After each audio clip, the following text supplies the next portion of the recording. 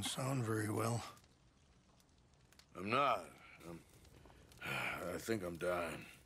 And I hope you find peace. I don't know too much about peace. Apparently not. Thanks to that raid you carried out with my angry son. He is now in jail, apparently awaiting death. um, uh, I'm sorry. I suppose I lack the grandeur of a conventional king. I don't know too many kings. Colonel Favours, he has already exacted some measure of revenge for the raid. Two women were assaulted by his men. Um, I'm very sorry about all of this. Yes. Sometimes the correct path, the bravest path, is the least obvious and also the gentlest. I'm. I'm a great disappointment to my son. Your son seems to want a war. My son thinks there is glory in death. Maybe he's right, but for me, I saw death being handed out so freely by the most foolish of men, I never could equate it with victory. Glory has come in service. Maybe. Maybe not, I don't know. I've killed a lot of people. For a whole lot of dumb reasons, and I ain't never seen much glory in it. Well, your friend, Mr. Van der Linde, he talks a lot. I don't know him, but my son is easily led. I'm not sure I get you. Uh, well, perhaps we could go for a ride. I'm an old man. My whole life I have tried to bring peace.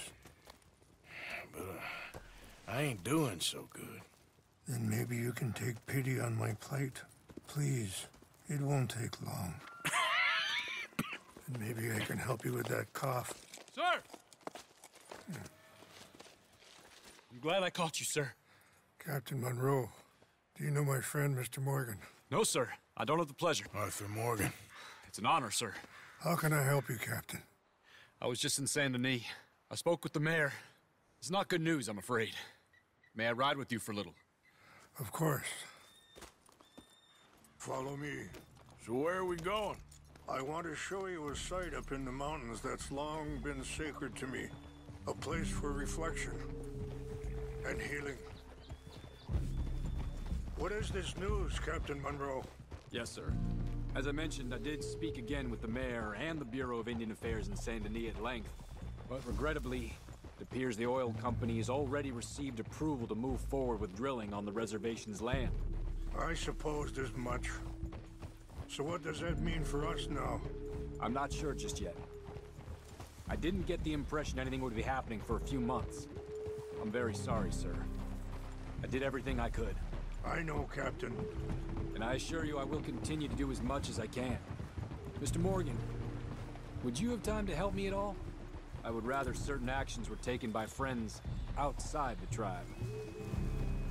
Sure, I can help. That's good news. Thank you. Come meet me on the reservation whenever you can. I'm sorry to be forward, but there's so much to be done.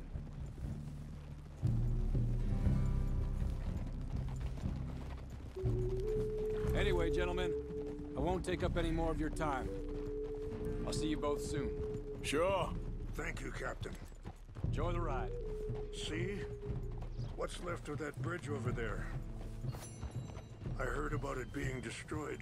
Do you know if that was also my son's doing? No, I'm pretty sure he had nothing to do with that one. Well, I fear they will find a way to blame it on us anyway. We'll continue on this way. I'm going to look for some herbs to give you. See the wolves over there feasting on that horse? Brutality and beauty are both all around us. Yet so often we're unable to see past our own grievances. This is what I try to teach my son. Yeah! Go on, get out of here! Good. There was no need to harm them. Yeah.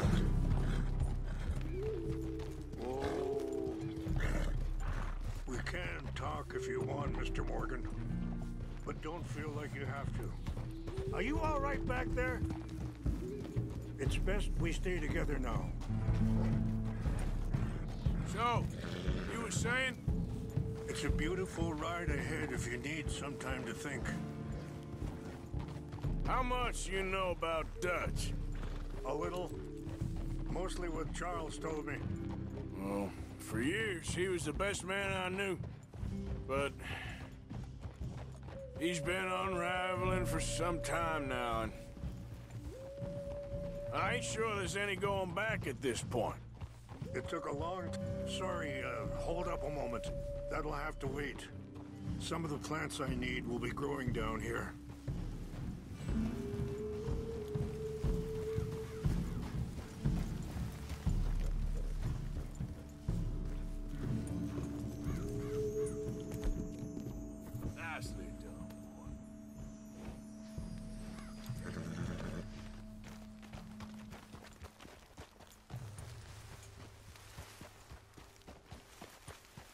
This is what I was looking for.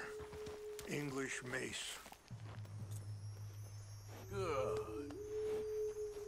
Okay, let's continue on. So anyway, it took a long time for me to learn that you could never change a person. We only become more who we really are. Perhaps you see that with him. Just as I see it with my son.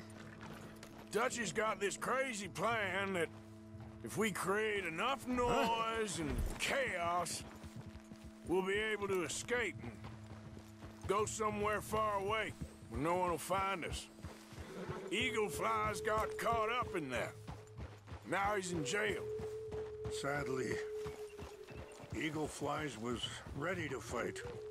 I'm sure Charles will find a way to help him, but I just wanted you to know the situation.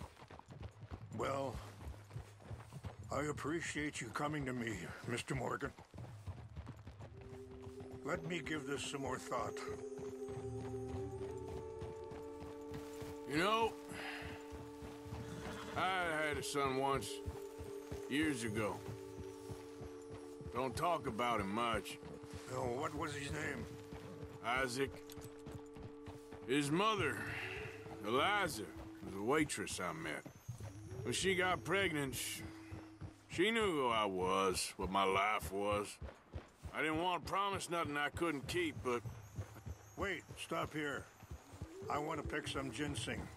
We can talk more about this later.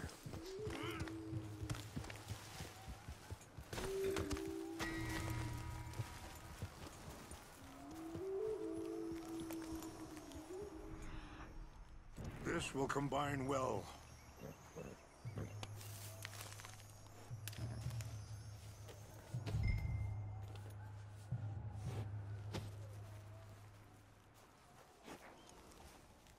Wait there. I'll put these in your saddlebag.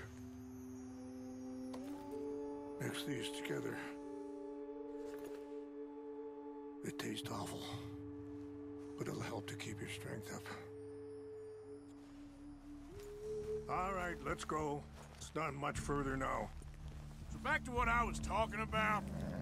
I didn't want to promise nothing I couldn't keep, but I said I'd do right by them. Every few months, I'd stop by there for a few days.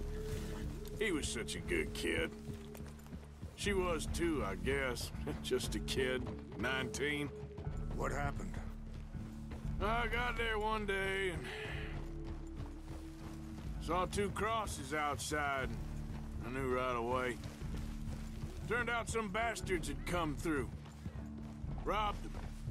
Shot them dead. And offered ten dollars. Hardened me. Feeling that kind of pain.